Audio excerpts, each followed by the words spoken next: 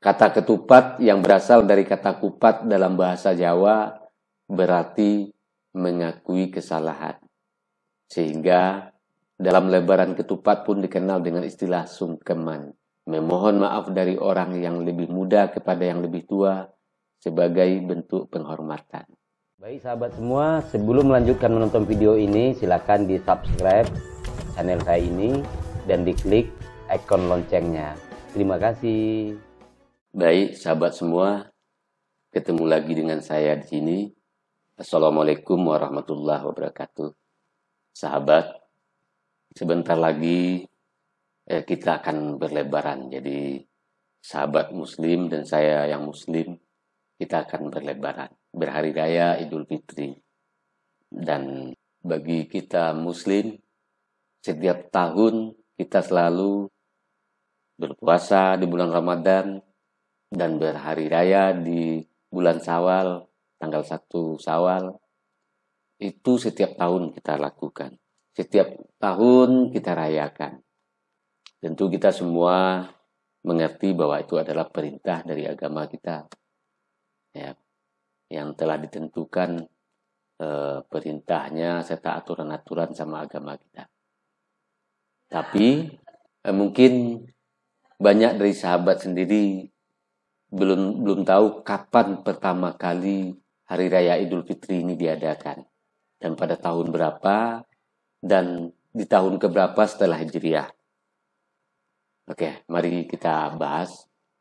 Ya, saya sudah mengumpulkan sedikit catatan secara sederhana agar setidak-tidaknya kita sesama muslim mengetahui sejarah hari raya Idul Fitri ini dan kapan pertama kali diadakan. Oke, saya bacakan. Setiap tahun, umat muslim merayakan Hari Raya Idul Fitri setelah selama sebulan berpuasa di bulan Ramadan. Banyak tradisi yang dilakukan saat perayaan Hari Raya Idul Fitri ini, mulai dari bermaaf-maafan, berbagi hadiah, hingga bersilaturahmi ke sanak saudara dan kolega merupakan bagian dari perayaan tersebut. Tapi tahukah sahabat sejarah dari perayaan Idul Fitri?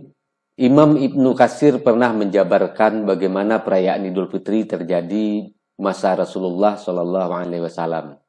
Dalam sebuah riwayat hadis sahih, Rasulullah pernah merayakan hari pertama raya Idul Fitri dalam kondisi letih. Bahkan sangat letihnya beliau bersandar pada Bilal bin Rabah dalam menyampaikan khutbahnya.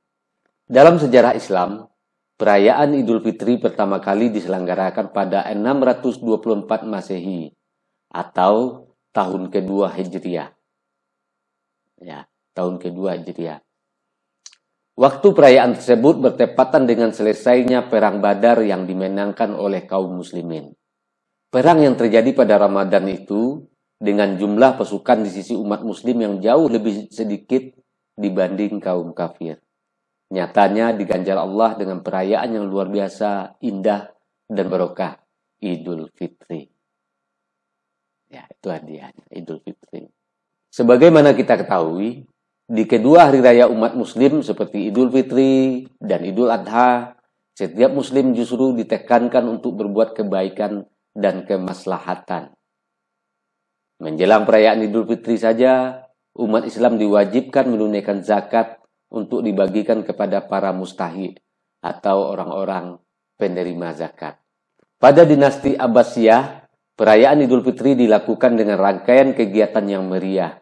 Perayaan dilakukan selama tiga hari yang diakhiri dengan menyantap beraneka ragam makanan halal yang disajikan. Di Indonesia, tradisi halal bihalal identik dengan perayaan Idul Fitri bagi warga muslim Indonesia. Sikap terbuka dalam tradisi halal bihalal yang dilakukan umat muslim tak jarang juga dilakukan oleh umat non-muslim. Tak sedikit dari umat non-muslim yang ikut nimbrung, bersilaturahim dan melakukan halal bihalal saat Idul Fitri tiba. Sungguh indah. Ya. Di sisi lain, budaya lokal dalam melaksanakan tradisi Idul Fitri juga banyak yang dijadikan tradisi umat muslim Indonesia secara nasional. Tengoklah bagaimana masyarakat Jawa diperkenalkan istilah lebaran ketupat oleh Sunan Kalijaga. Lebaran ketupat merupakan tradisi yang ikut menyemarakkan perayaan Idul Fitri masyarakat Jawa ketika itu. Sunan Kalijaga mengajarkan masyarakat Jawa untuk membuat makanan dengan bahan utama beras yang dibungkus dengan anyaman daun kelapa. Anyaman daun ketika itu identik dengan ciri khas budaya dan seni masyarakat Jawa. Sehingga bukan hal sulit bagi masyarakat Jawa ketika itu mengikuti apa yang diajarkan Sunan Kalijaga.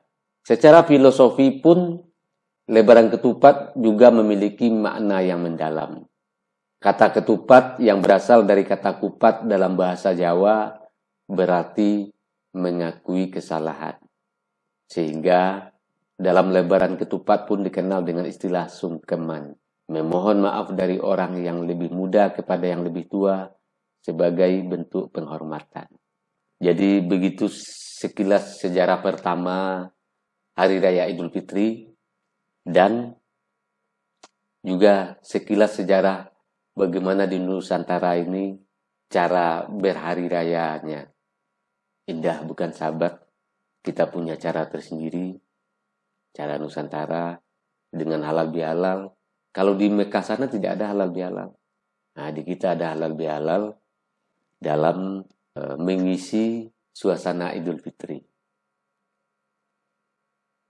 Oke, sahabat semua, demikian saja video saya.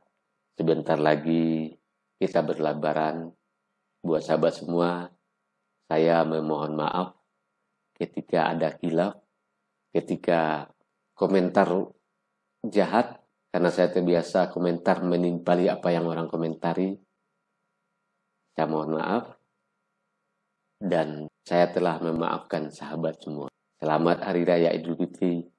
Minal aizin wal faizin. Assalamualaikum warahmatullahi wabarakatuh.